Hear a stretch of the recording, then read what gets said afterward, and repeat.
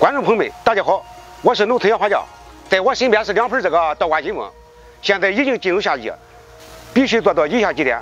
首先是光照方面，倒挂金翁是不喜强光的，这个进入夏季吧，你必须得把它放到有遮阴的地方。你要是放到这个光照很强的地方，很容易造成整个植株受到影响，甚至整株死亡的现象。这个温度方面，倒挂金钟不喜高温，你要夏季超过三十五度的情况下，它处于这个休眠状态。你要是把它放到这个温度很高的地方，它容易落花落蕾。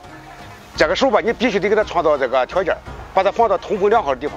特别这个住楼房的，你把它放到个阳台上通风的地方，适当的给它通风，给它降低温度，它才能开出这个鲜艳的花朵来。冬季的温度你不能低于八度，要想让它正常开花，必须得保持在十五度左右。施肥方面，倒挂金翁比较惜肥，因为它一年四季都能正常开花。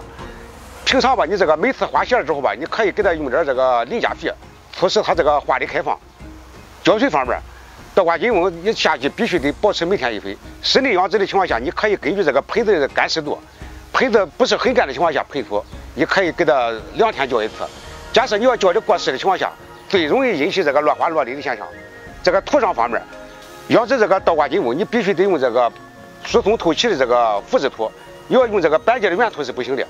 它因为把你这个板结的原土它不容易透水，容易造成这个烂根现象。倒挂金钟生长很快，每年你必须得这个春季给它倒盆一次。如果你要不倒盆的情况下，对这个整个植株生长不利。好了，关于这个倒挂金钟养殖方法，我就给大家介绍这些，咱们下期视频再见。